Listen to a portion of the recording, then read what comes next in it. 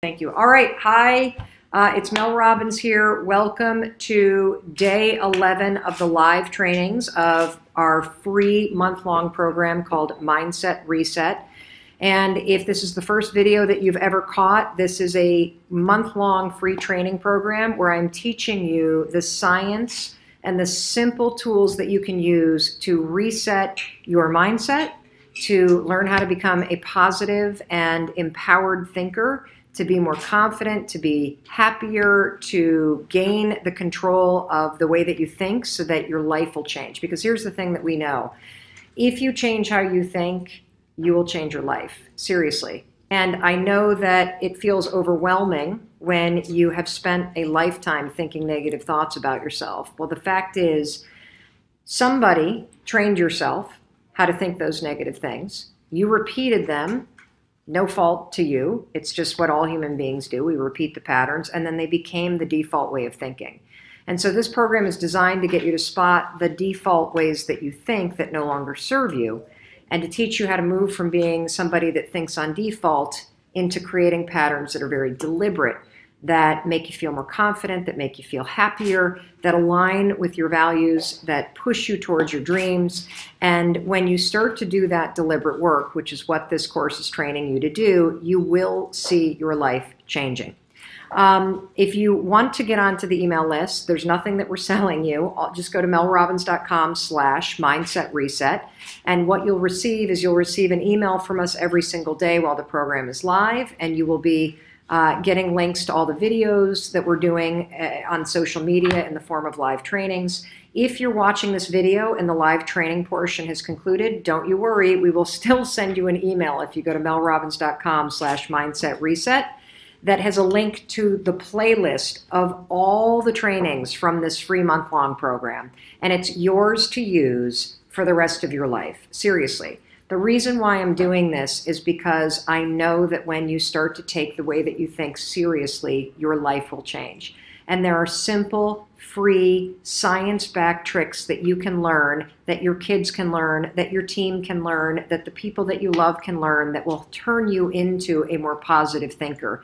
And it is the single coolest and most empowering thing that you could do for yourself. So today, uh, with that long winded explanation, today we're going to be concluding our portion of the live trainings that talk about the importance of your morning routine. We have already covered the science around the way that your brain works. We have already discussed how you have a default network of neurons and neural pathways in your brain that filter the world. They allow what comes in and what comes out. We've talked about limiting beliefs. We've trained you on the power of being a deliberate thinker. We've trained you on how you think this instead of thinking that when you have very negative beliefs. And now we're in the portion of the program where we're talking about the power of your morning routine. Why is a morning routine critical for your mindset? The reason why your morning routine is critical for your mindset is a couple reasons. Number one, let's just think common sense. If you wake up and you feel horrible and you're in a bad mood, and you pick up your phone or you turn on the news, and the first inbound information that hits your brain is negative, or it triggers something in you emotionally that is negative, you are starting your day off on the wrong foot. And you might even have a habit that if you wake up and the day begins as a bad day, that you then spend the rest of your day convincing yourself that this entire day is a bad day. That is a major mistake. It's also not true because you get to choose how you view what's happening around you. And the second reason why your morning routine is critical is because the first two hours that your brain is awake are the best two hours for your brain all day. And so I believe that if you create a very powerful morning routine, and the one that I am recommending that you start off with, and then you make it your own, you add in things, you take away things that you don't use or that you're not going to like. But everything I'm recommending is based on the science around productivity, focus, happiness, um, the way that your mind is actually wired to work. And that's why I'm recommending everything that I've been recommending in the program. I will explain very briefly the steps of the morning routine, but if this is the first video you're watching, it's day 11. Go back to day 9, go back to day 10, where I really begin talking about the power of a morning routine, why it's important, and I explain the science in detail. For today's training, we're going to talk about the third step in your morning routine. So when you get to the third step, by this point, you have already woken up on time and gotten out of bed when the alarm rang. You didn't hit the snooze button.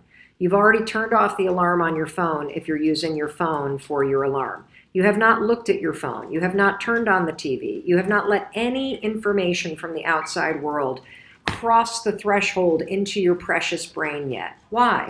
Well, the reason why is I believe that you and your dreams, they deserve 10 lousy minutes. In fact, I think they deserve an hour. But I'm just going to go with 10 minutes because I know that you can find 10 lousy minutes to focus on your dreams, to focus on becoming a deliberate thinker, to plan out your day, and to figure out what your priority is. So, in those 10 minutes, these last two trainings on day 9 and day 10, and today is now day 11, I have walked you through the step by step journaling method that I use that's based on science. Every question takes less than five seconds to respond to. The whole process takes less than a minute or so to fill out, and it will turn you into a deliberate thinker. It'll help you be more focused and confident. I call it the five second journal. Now, I want to be clear about something. Do not buy it do not go out and buy the five second journal, please. One of the reasons why is we're about to run out of copies. No, that's not the reason why, but we are about to run out of copies. And no, I don't want you to complain at me.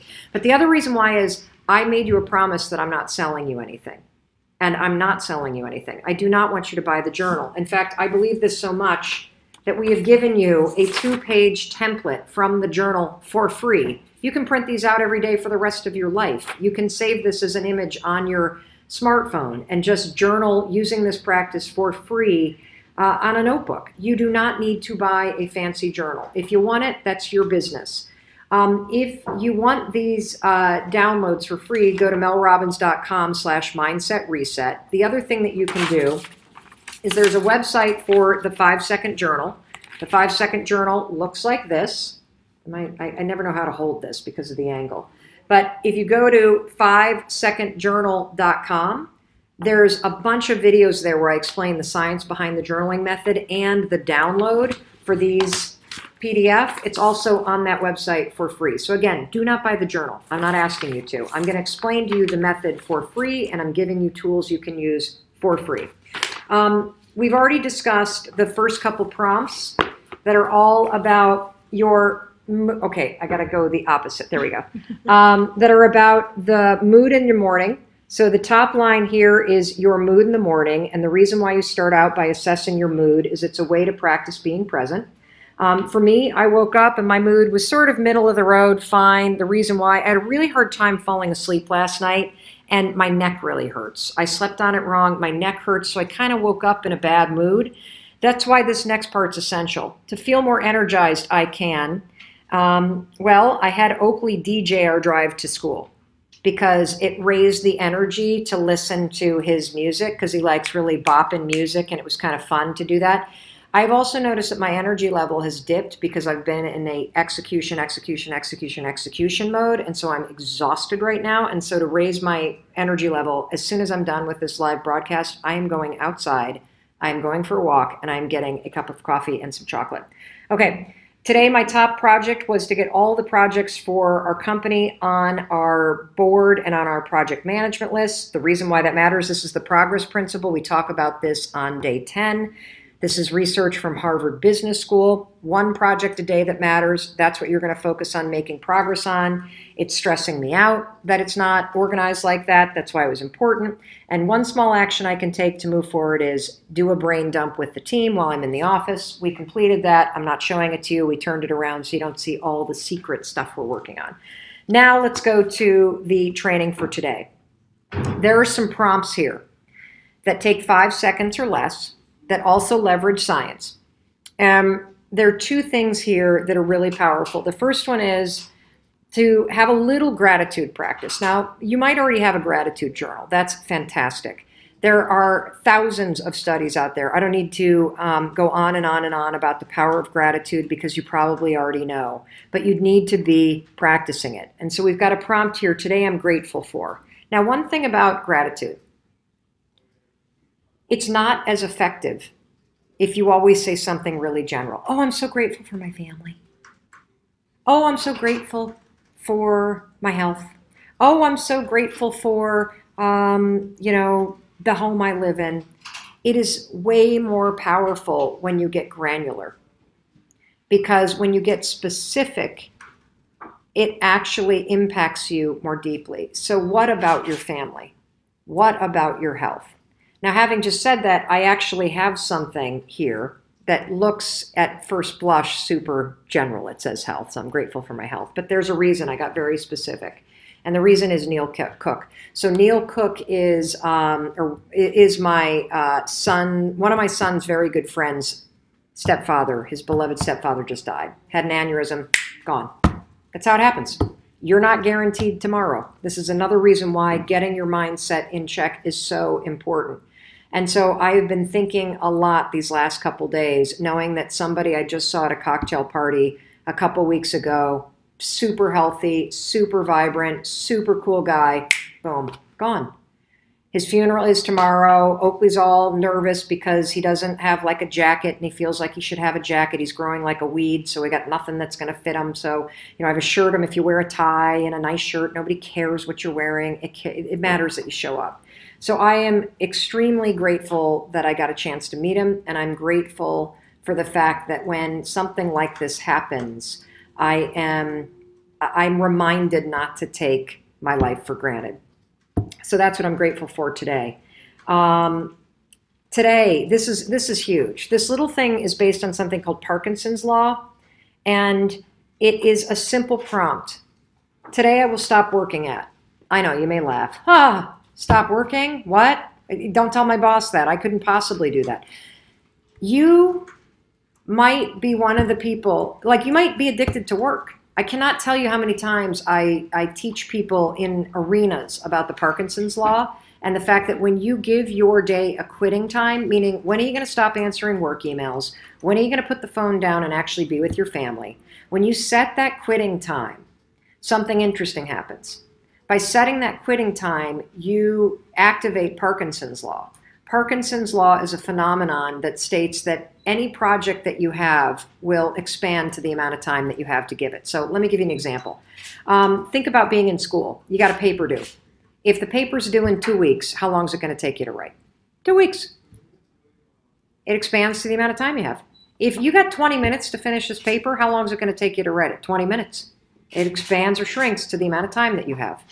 You have experienced this in your own life. Have you ever had a doctor's appointment at the end of the day? or a train or a bus or a plane you got to catch, having that goalpost at the end that says this is non-negotiable. I got to be at a soccer game at 5:15, and with traffic that means I got to leave at 3:45 if you're in downtown Boston. Um, what happens when you set a quitting time is it shrinks the amount of time that you have to jerk around, and you become more productive. And so my quitting time today is 4:55. That is when I am done. I am done working for the day. Um, you will be startled by how effective this is. I use this every day. I bet it works about 65 to 70% of the time. Because by setting that goalpost, I have now put a mental pole in my mind and I've shrunk the amount of time I have. It's 253 right now. I've got two hours, that's it, to get a ton done.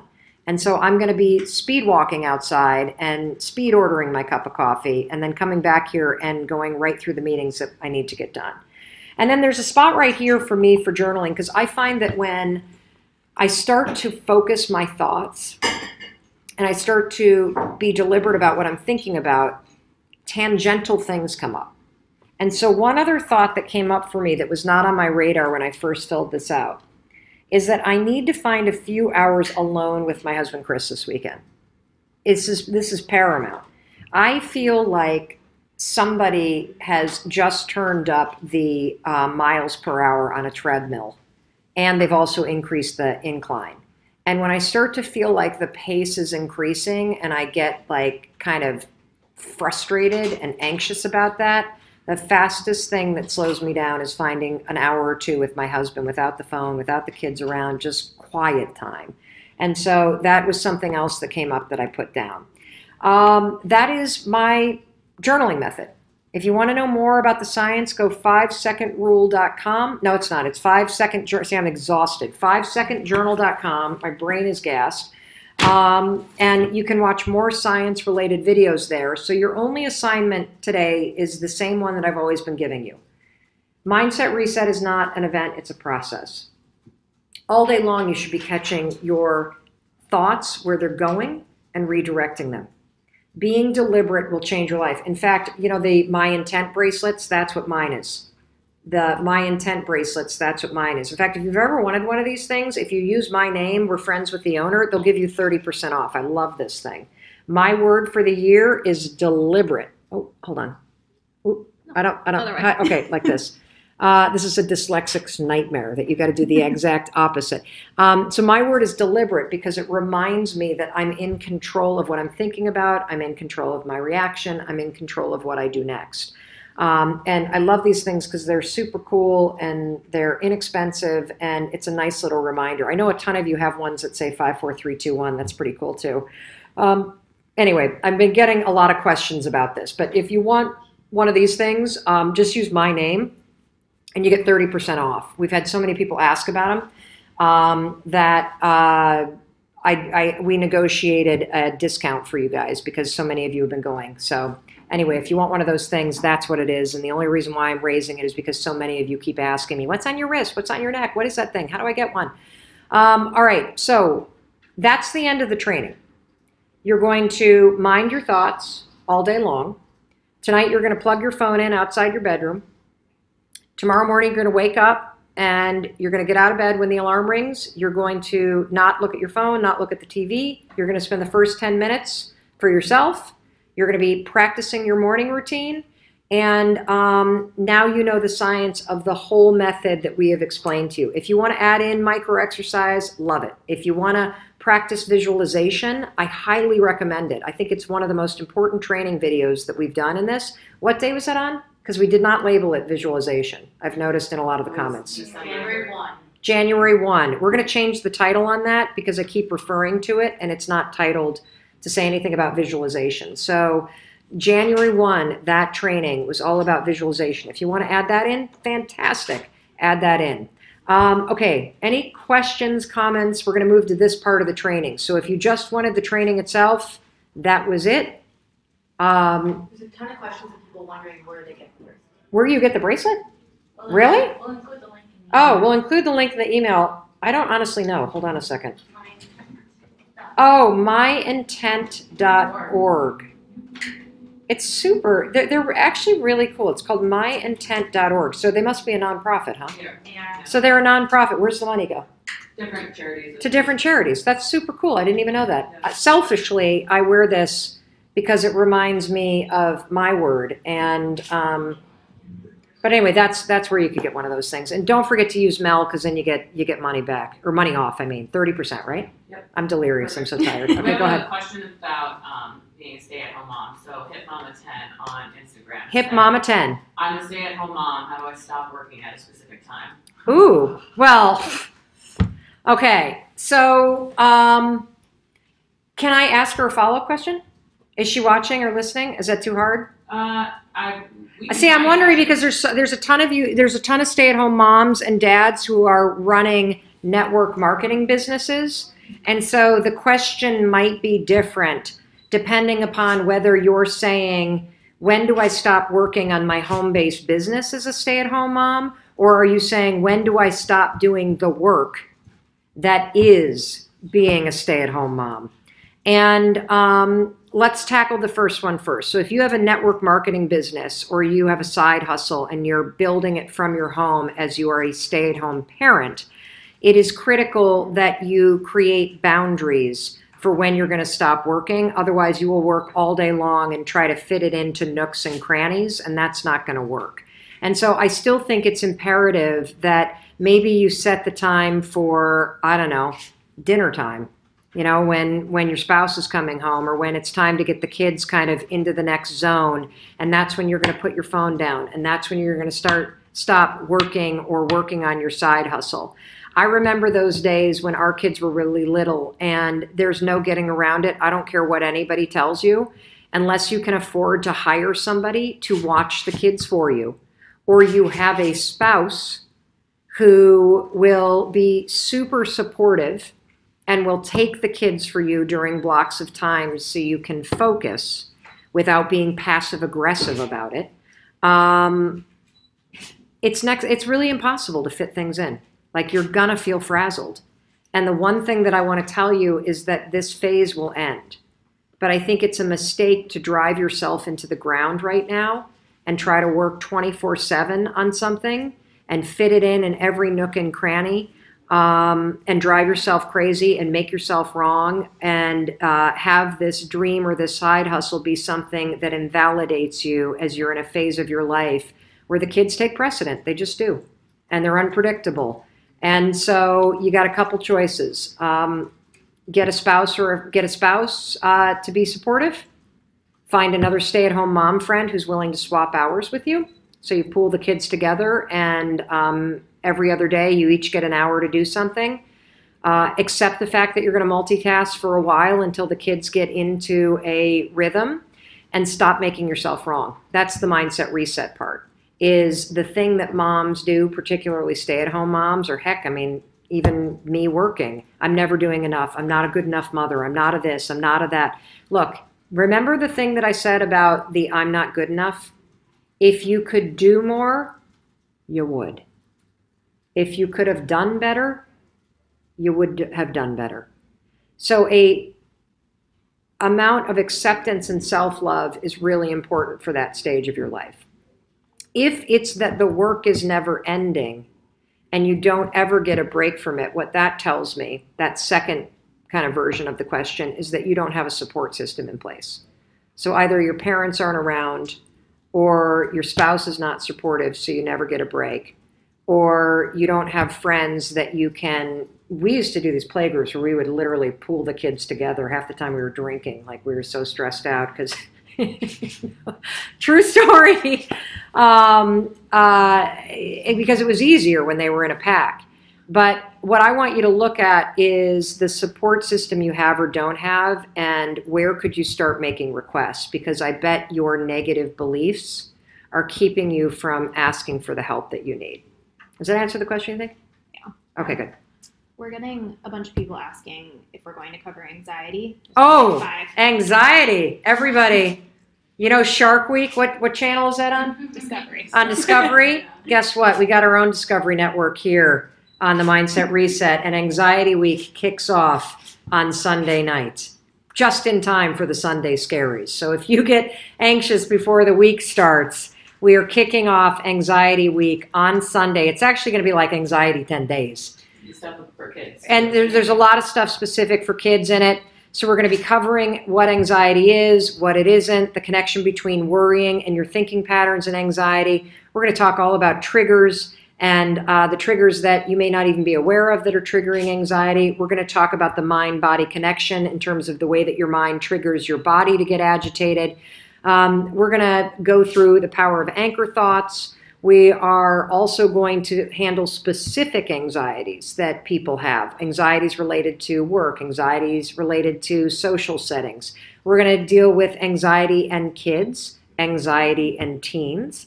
Um, I'll bring Oakley and Kendall back on, and we will have them share uh, so that if you have kids, that you've got material that the kids will relate to. It's going to be an epic uh, week to 10 days. And of course, there'll be a couple FAQs in there. So hang tight, but do this foundational work. Because if you've been redirecting your thoughts and you've been practicing your morning routine every morning, everything you're about to learn during Anxiety Week is only going to build on um, what you've already learned. And you're going to be in an even better place to implement it in your life. Awesome. Anything else? The only other thing that I had was a question that I think a lot of people in the medical field Yeah. ask, which is, what do you do with a quitting time when you're on call? Like, how Oh, what do you do with a quitting time? When you're someone that's waiting for a call or your beeper, because I know doctors. Oh, beeper doctors, that's a great call. I grew up with a dad who had a beeper. Um, if it's not beeping, you're not working. Right? I mean, that that's it. Like set a quitting time for when you're going to stop thinking about work. And you know, for me, 455 today is like that's it. I'm not I'm not doing it anymore. But there are plenty of times where I've had a quitting time of like whatever 350 or 515 so I could make a kids sporting or theater event. But then I know that once they go to sleep at nine o'clock, I'm going to check back in on email for 30 minutes, but I'm going to go to bed at 10 o'clock. So it's about kind of being very deliberate about the boundaries that you're setting for yourself. And so you can be flexible with that. You're basically using it in order to leverage Parkin's law. So if you are on call, um, if you've got the kind of job where they could call at any time, that's fine. You don't need to manage that. If there's an emergency and if they need you, they will call you and then you will be working. In the meantime, set a quitting time so that you have boundaries between constantly being plugged in and working and actually taking the time to unplug, taking the time for self care, taking the time to just be present. All right, what are we doing tomorrow? One more question. Yes, one more question. Yes. Where can they watch Anxiety Week? Where can you watch Anxiety Week? Right here.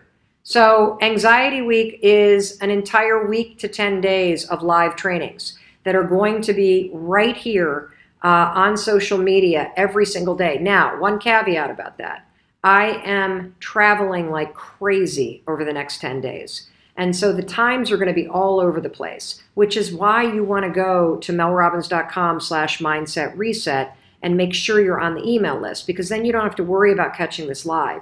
You will get an email from our team every single day at some point after I've done the live training. And uh, we will recap what I talked about. We will give you links to all the videos. If I've mentioned the visualization video, we'll link to it in there too. We're doing this as a service because we know your life is busy and we know that you're more likely to watch this content and implement it in your life if we've teed it up without you having to manage yet another thing in your life. So go to melrobbins.com slash mindset reset. And every day of Anxiety Week, we're going to be covering and building upon all the information that you need so you can start to take control of your thinking and how your thinking is triggering agitation in your body, which is the definition of anxiety. It's when you start to feel agitated in your body based on the thoughts in your head. And we're going to teach you how to quiet it, how to get control of it. And it all begins with what I said at the very beginning of today's training. If you change how you think, you will change your life. And changing how you think is also the secret to curing yourself and curbing and quieting the anxiety that you and your kids and your loved one feels. So stay tuned. And it's not too late to sign up if your friends and family or you have not signed up. This is here for you. So I think that's it. I'll see you tomorrow. The times are going to be all over the place.